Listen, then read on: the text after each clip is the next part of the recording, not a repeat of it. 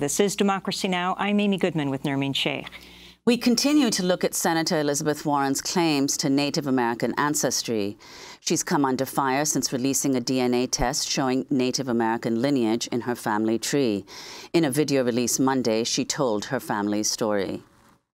My mother was born in eastern Oklahoma. It had been Indian territory until just a few years earlier when it had become a state.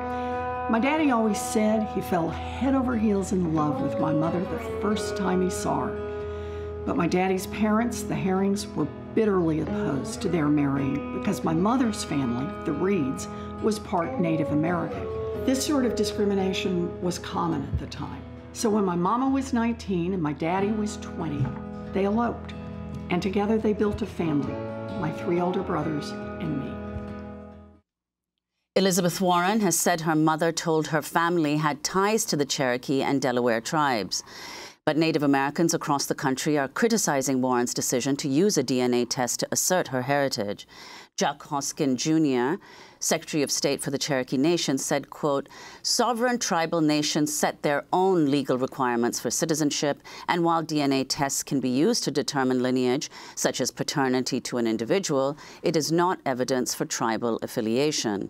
Using a DNA test to lay claim to any connection to the Cherokee Nation or any tribal nation, even vaguely, is inappropriate and wrong. For more, we host a roundtable discussion. Joining us from Fargo, North Dakota is Tara Houska National Campaign Director for Honor the Earth. She's an Ojibwe lawyer. And we go to Anchorage, Alaska, where we're joined by Mark Trahant, who is editor of Indian Country Today, a member of the Shoshone-Bannock tribes. In Seattle, Washington, we're joined by Gyasi Ross, author, speaker, lawyer, and storyteller, member of the Blackfeet Nation, host of the podcast Breakdances with Wolves. We welcome you all to Democracy Now! Um, let's go to North Dakota, um, to Tara Houska. If you can respond first to um, uh, Senator Warren releasing her DNA test indicating Native American lineage and her video, and your thoughts on this. What I see are some non-Native folks arguing over what Native identity is, um, and Native people just being in, almost entirely left out of the conversation. Um, so we saw that Lindsey Graham now is running around saying, you know, that I have more Indian blood than she does. I should open a casino. It kind of shows just how problematic um, Senator Warren's decision to use this DNA test as her smoking gun. Now, see, I'm Native. I, I said I was um, when in fact, you know, common genetic markers and geographic location does not tell you anything about, you know, which tribe you might be part of or that you might have descendancy from. She couldn't actually locate an ancestor, um, having done a genealogy study, who is a Native person. Um, it's kind of this one drop rule that she's reinforcing all these, you know, understandings of race being something by blood and there being this difference between um, different ethnicities. So Let's go to Senator Warren in her own words in that video that she released on Monday talking about her Native American heritage.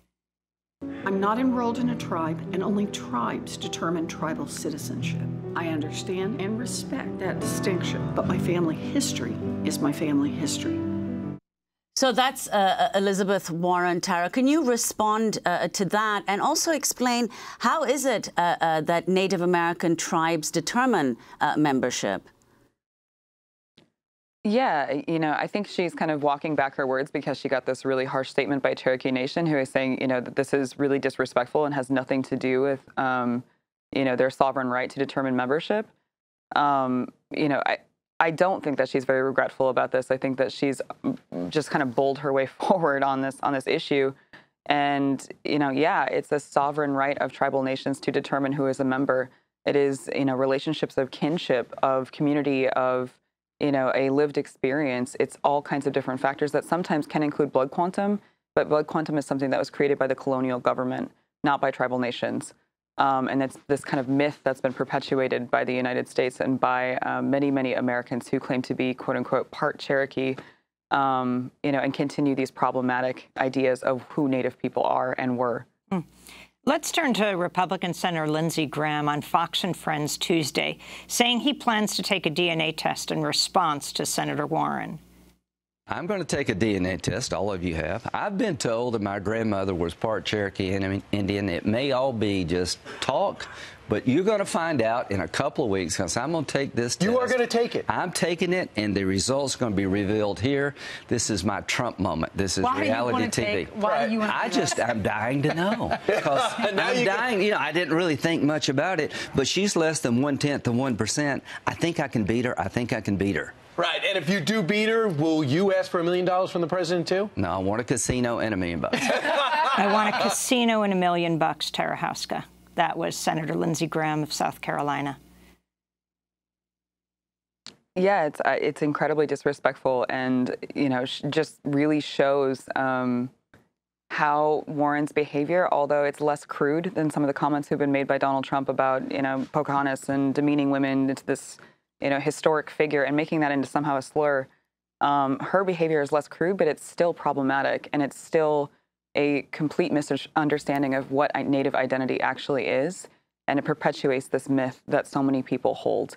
I mean, you live on the East Coast and you hear almost everyone having this story of being part Cherokee on their mother's side, um, when there are real Cherokee people who still live today.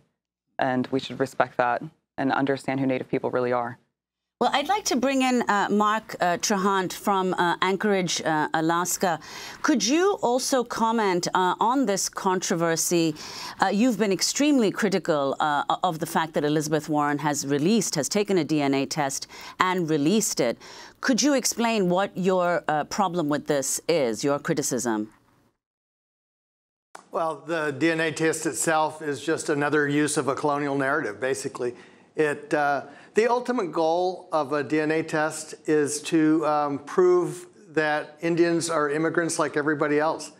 And it's, uh, again, it takes away from the idea that there's a tribal community with a governing uh, institution that's been around before the United States. And there are reasons that tribes are around with 10,000 year histories in North America. Well, Mark, can you explain what you mean by that? Uh, the, the, DNA tests are there to prove that uh, Indigenous people, uh, Native Americans, are immigrants like everyone else. Why? Kim Tallbear, uh, who's written quite a bit about this, has talked about that. That the it's basically coming up with a, a, a narrative that says uh, you know, figure out where folks came from originally and trying to figure that out rather than to connect with the stories. I mean, uh, Shoshone Bannock, for example, one of the things that just uh, I love about my own people is that if you look at the history of North America, we once hunted mastodon. And you think about that as an arc of history that goes back many generations that is much deeper than a test that you can use. And you even suggested, uh, uh, Mark, that uh, her releasing her DNA test kind of disqualifies her to be president. Uh, could you explain that? Sure. I mean, campaigns are about stories and what story you're going to tell about yourself. And um, here we are, three week, less than three weeks away from an extraordinary election, and we're talking about this instead of the extraordinary election. I think just from a strategic point of view, that makes no sense. Let's go to Gyasi Ross in Seattle, author, lawyer, member of the Blackfeet Nation. Uh, as you watch this um, from the Northwest, Gyasi, uh, talk about your response, uh, not only um, to Senator Warren doing the DNA test and all the ways she has variously represented herself, but also Donald Trump um, uh, and his comments about her continually right through this week talking about Pocahontas. Um, thank you, and good morning. Thank you for having all of us. Um, it's good to be on this very esteemed panel. Um, you know, I, I, had a few reactions. Number one is one concerning the media generally. And it would be nice to have quote unquote native stories, native theme stories that weren't centered on white people. Um, that's something that's very common, whether you're talking about Hollywood, Dances with Wolves, Little Big Man, uh, Elizabeth Warren. Every single time we see natives in mass media, it's in response to white people doing something really, really stupid or saving our communities. And uh, that's a false narrative. And so it would be nice to, you know, see our our communities that are that are actually pushing for an, an amazing recovery um, relationship to economics and relationship to education and relationship to language um, actually have that centered around a story as opposed to around a white person and the native people being collateral to that white person.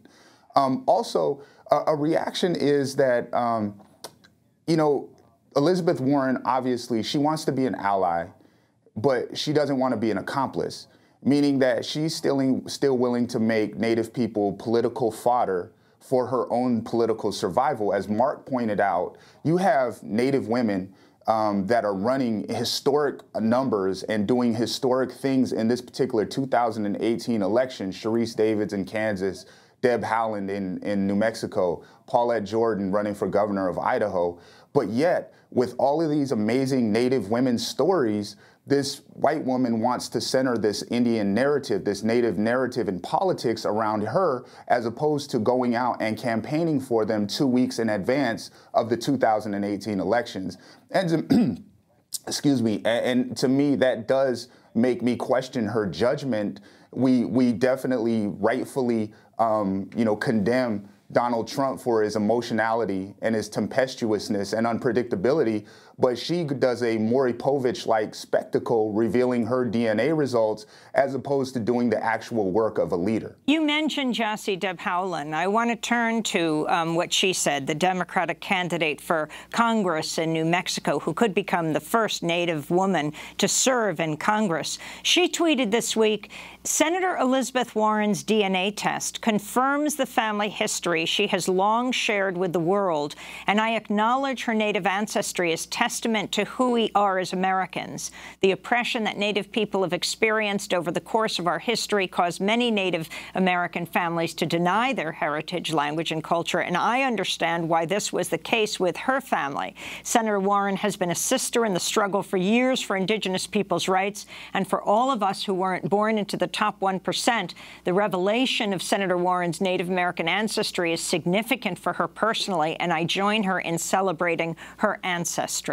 Uh, that is the quote of the Native American uh, congressional candidate, Democratic candidate uh, in New Mexico, who could well become um, the first uh, Native American uh, con uh, Congress member. Your response to what she says, Gyasi? Yeah. Con Congresswoman. She'd well, be the first it's a typical, Congresswoman. It, it um, and I believe that her and Sharice Davids will co-occupy that title as the first Native Congress people in um, in, the, in the House. And that's going to be an amazing celebration and wonderful, wonderful event for United States politics and United States history generally. But for um, for you know, Congresswoman Haaland, that is a typically gracious and amazingly brilliant response and absolutely, I'm sure she does celebrate just like all of us. Cool. If you want to be into the fold socially, that's a beautiful thing. You want to find out why, you know, this is the year of the Native woman.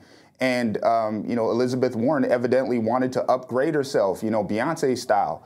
But that doesn't mean that it requires these Maury Povich-like theatrics in which they do it and disrupt a flow where Native women are rightfully getting a lot of attention politically and a lot of resources politically and do this as opposed to doing the work. It's an incredibly gracious and generous response from Congresswoman Haaland but that doesn't mean that it, the timing is correct number one nor that it wasn't something that you know that she necessarily thought out or her people thought out properly and your response uh, to trump saying he'll give her a million dollars if she um, takes a dna test and now saying you know i never said anything like that Trump's a pig. I mean, he's a liar. So that shouldn't surprise us. I think both of them for making native ancestry into a spectacle, into a three ring circus in which non natives, and specifically white people, by the way, feel completely emboldened to, to posit their opinions and actually challenge native people about native ancestry. Elizabeth Warren and Donald Trump both opened that door. And so I believe that both of them should donate a million dollars to the National Indian Women's Resource Center.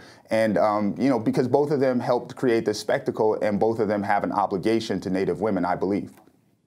We're going to break and then come back to this discussion. Uh, we're talking to uh, Gyasi Ross, author, lawyer, member of Blackfeet Nation, uh, speaking to us from Seattle, Washington. Tara Houska with Honor the Earth, Ojibwe lawyer, speaking to us from Fargo, North Dakota. And Mark Trahant, of Indian editor of Indian Country Today, speaking to us from Anchorage, Alaska. This is Democracy Now! Back in a minute.